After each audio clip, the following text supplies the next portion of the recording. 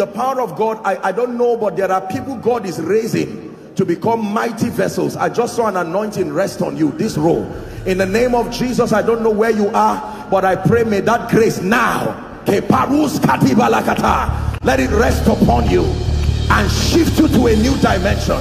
In the name of Jesus Christ. Welcome to Christocentric Message. On this channel, you are going to get soul-lifting messages, faith-based content, prayer drills, and videos that would help you grow spiritually.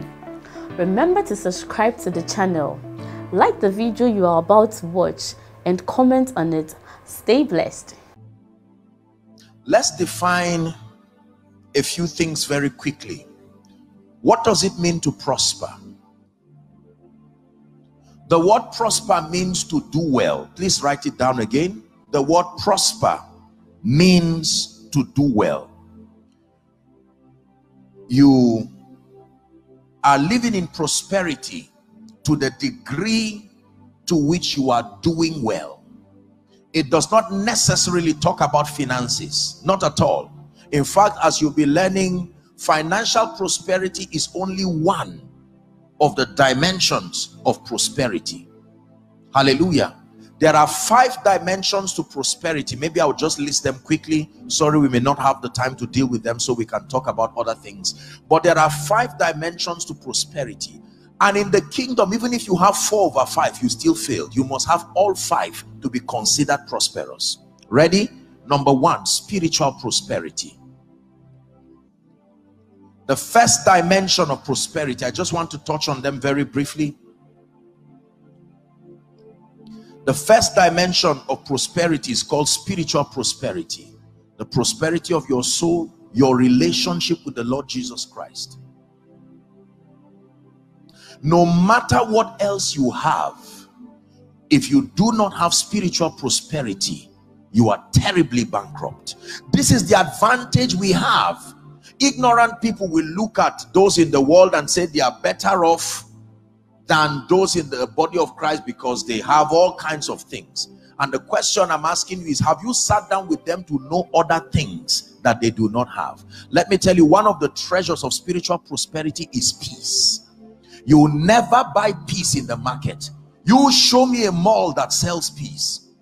Show me a hospital that has peace, like a blood bank to sell. Show me a school that can award peace like a degree. He said peace i live with you.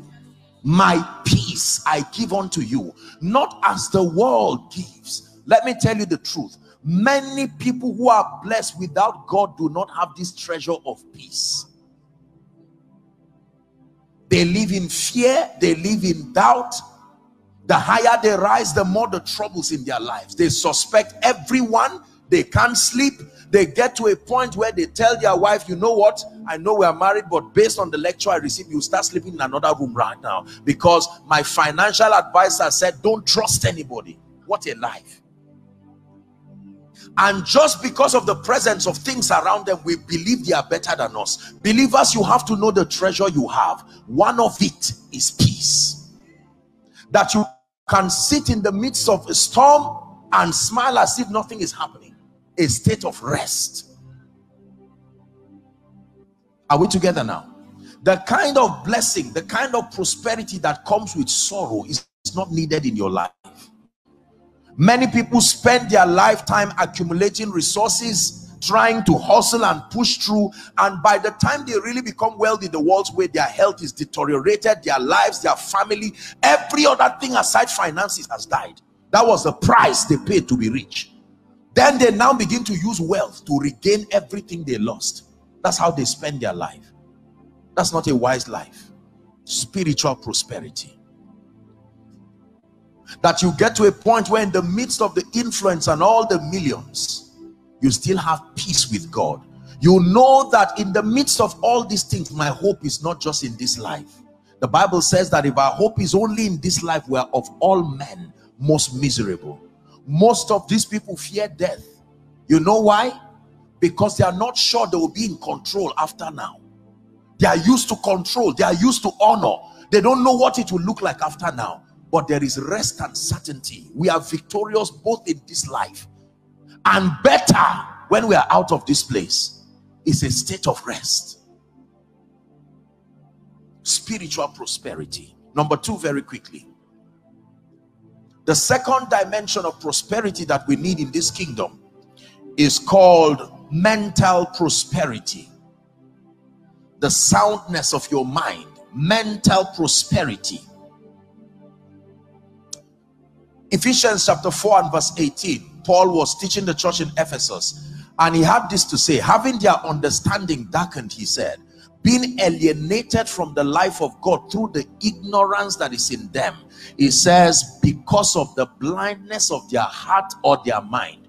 So satan has an assignment that he can blind the minds of people and make your understanding unfruitful. Let me tell you you are prosperous to the degree to which you sustain superior belief systems.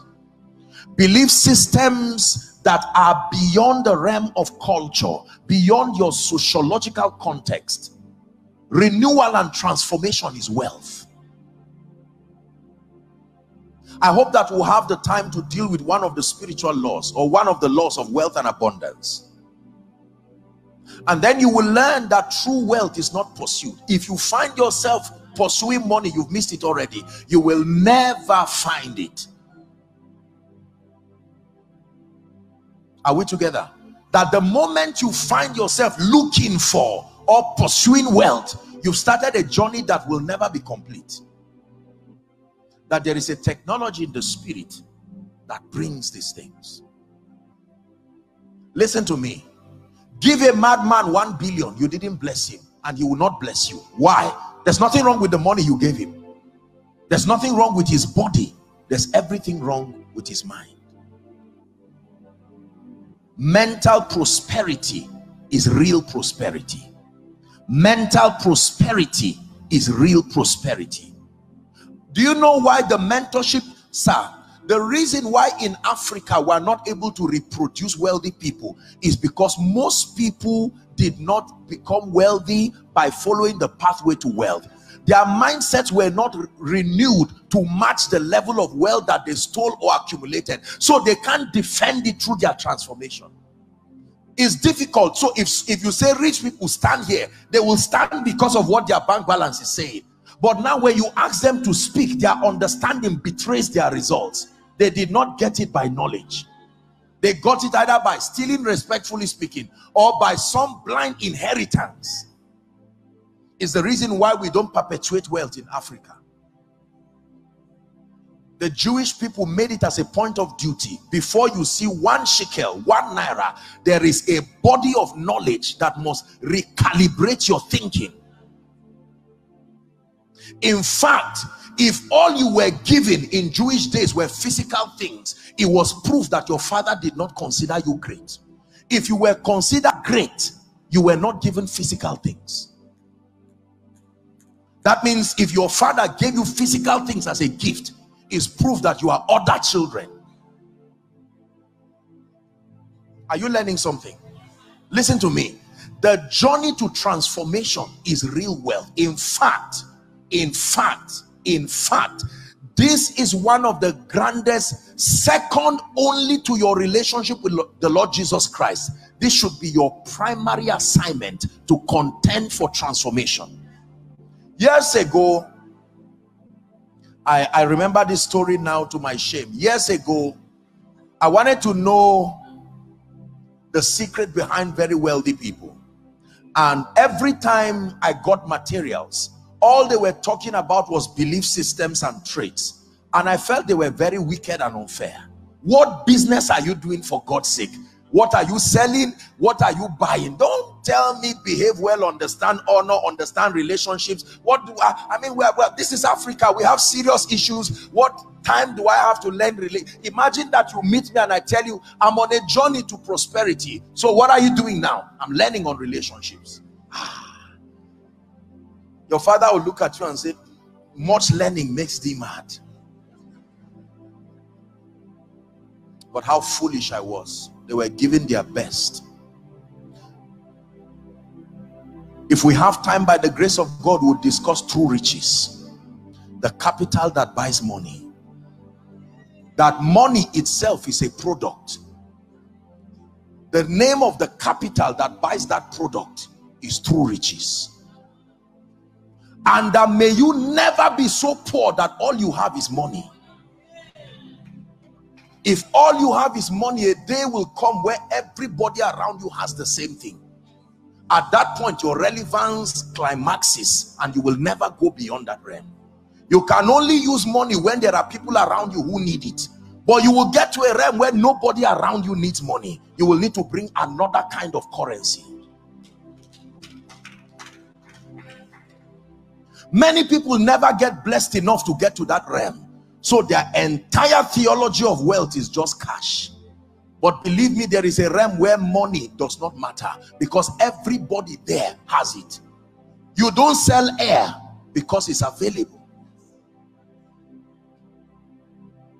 So if you have a business that you're selling air I don't mean the one in the hospital just air to people who are alive and wealthy you have to bring another kind of product. Hallelujah. There are seven currencies that we use to transact with in this life. The least of them is money as you know. So i pray that god will grant us grace and we'll discuss it in the name of jesus christ. So that when you leave church you can leave church even though trekking you'll be laughing like a madman. And ignorant people will say something has happened to you. Have you done the job and you say i wouldn't laugh this much if all i got was a job. I've gotten what is greater than a job. I've gotten the capital that buys money. You believe what i'm telling you? Listen you will walk out of this conference and you wonder the ignorance of the people on the street. Based on what and to know you were like that before you came to church you would thank god for church for the rest of your life. Now you will understand what it means when the bible says i was glad when they said unto me let us go to the house of the lord. There is something in the house of the lord that is not found anywhere else. This is what the bible calls the power to prosper. God gives you the capital that buys money and says go. And he's sure that you will return back rejoicing. And you will play life like a chess. And you watch men and women pay for their ignorance and you will thank God for God you will thank God for your pastor you will thank God for your leaders. And you will quickly gather your children to say I found something. Let me show you. Here is a key. Mommy when are we going to get the money? And you say no i don't hate you that much. Let me teach you what is better than money that brings you money true riches. Never forget this. Just the title alone can bless you the capital that buys money money is a product there is capital that buys it but that's not even where we're going can you imagine we are still defining terms? This is spiritual prosperity, then mental prosperity. The third level of prosperity is called bodily prosperity. Your health and your physical well-being. Your health and your physical well-being.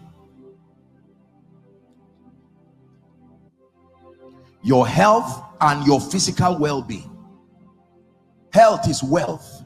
Is a true statement health is wealth there are millionaires and billionaires today whose money cannot do them much because their health is so deteriorated let me tell you this you have a responsibility to take care of this body that your spirit lives in the reason is because there is a requisite level of health that allows your spirit to remain in this body. If your body deteriorates beyond that level the spirit will have to leave. A body has thou prepared. Bodies are prepared. They don't just it is your responsibility to keep the body prepared so that you can do much for the kingdom. This is prosperity. We deteriorate our health we wake up early in the morning and we sleep late in the night only to eat the bread of sorrow. And then at the end of it we are giving naira and kobo and a few dollars and pounds. And then we find out that these things do not have the power. We traded we blame esau and Jacob and yet we make the same mistake every day. When you give your health just for money that's the same thing you did.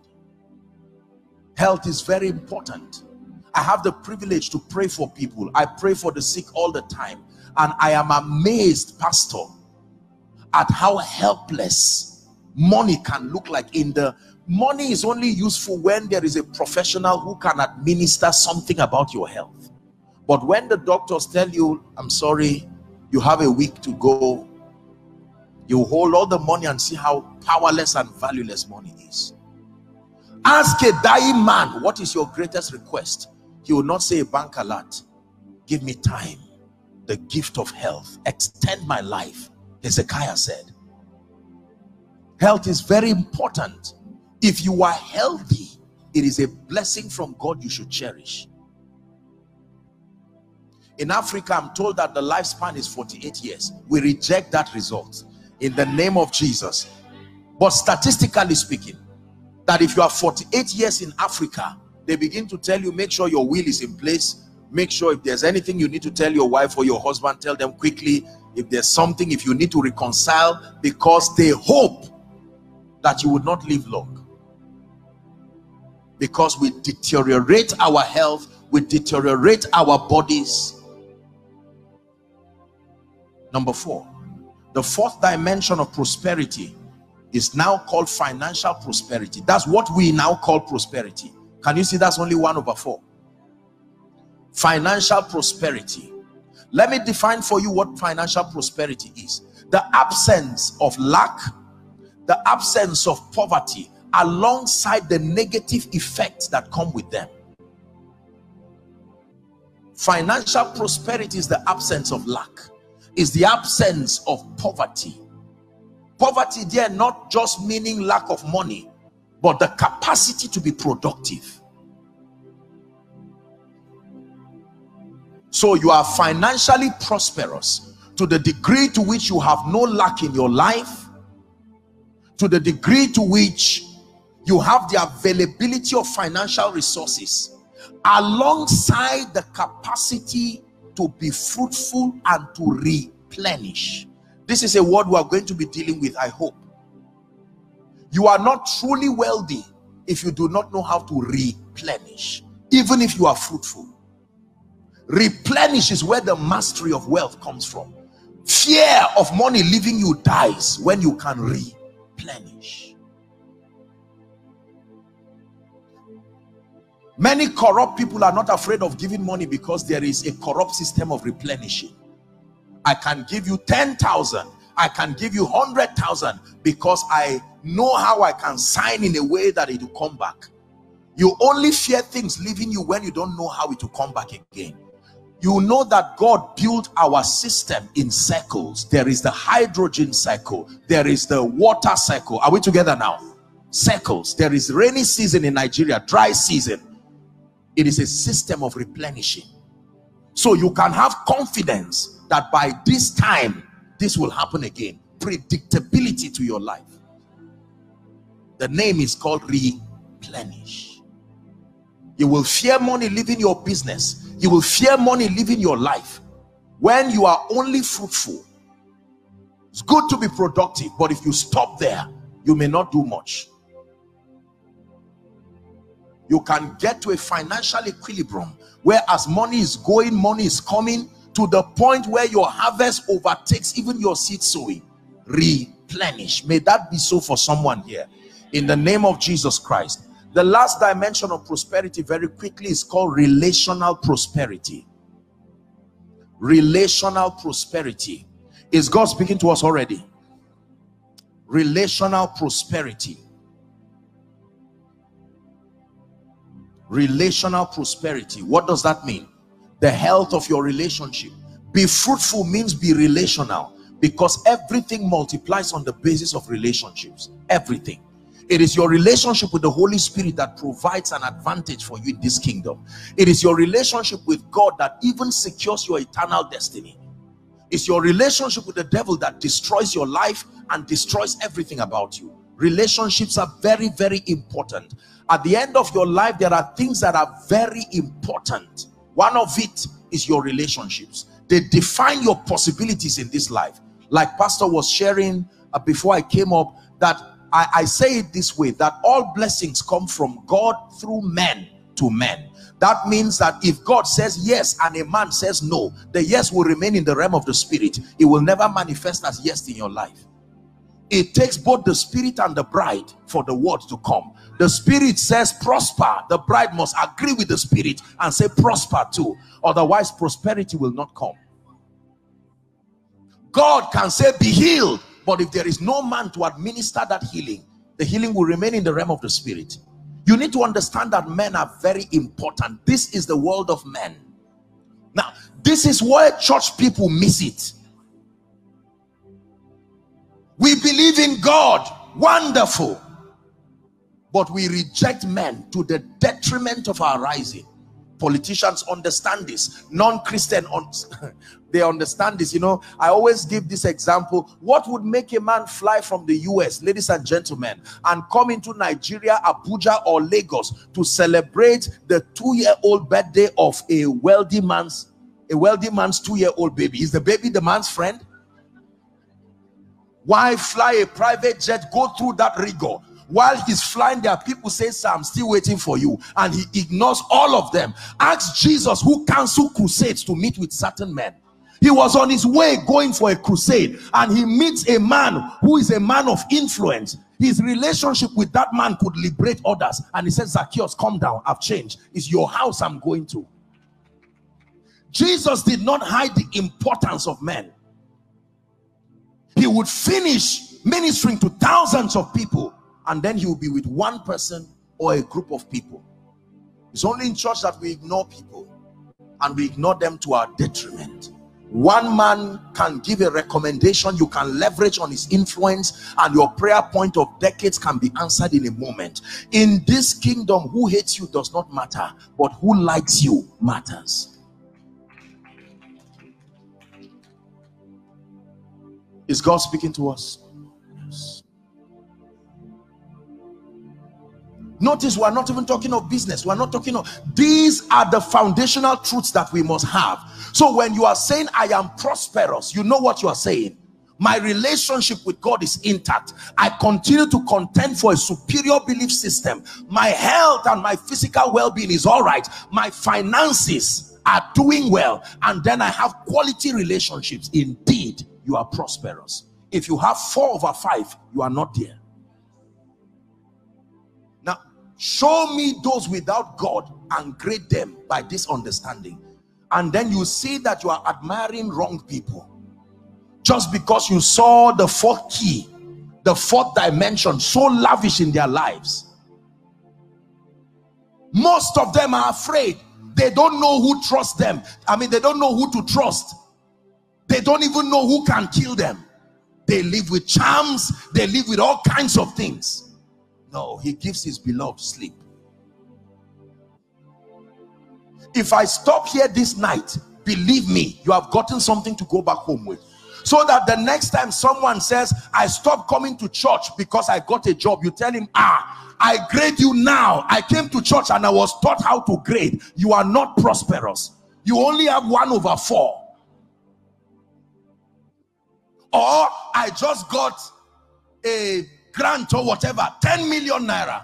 I don't need anybody to teach me again.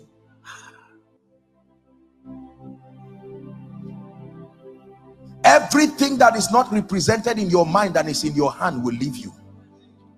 It's a law. It's a spiritual law. Everything is built twice.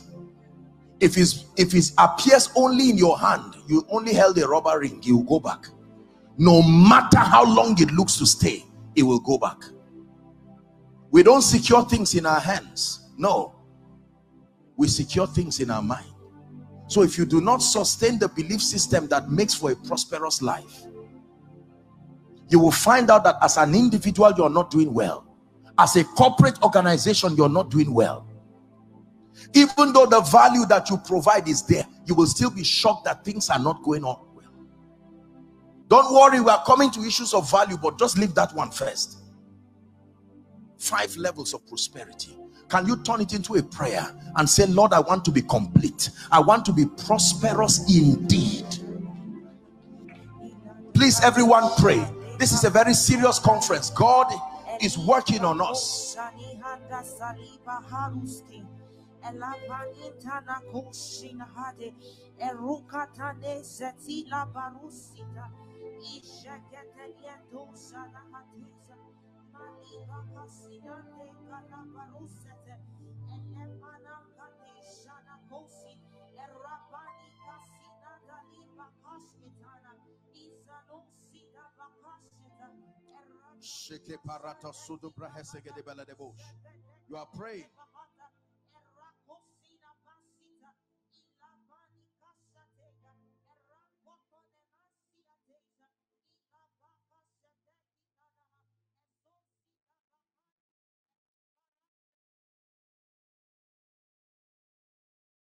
Dearly beloved, I hope you were blessed by this message.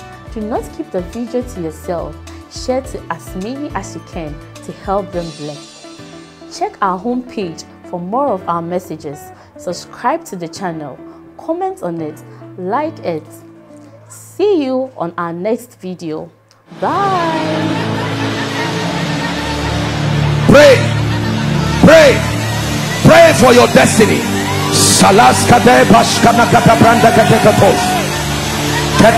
Katapakotos Kotobregatekalekata. The phase of development. Lord, grant me the discipline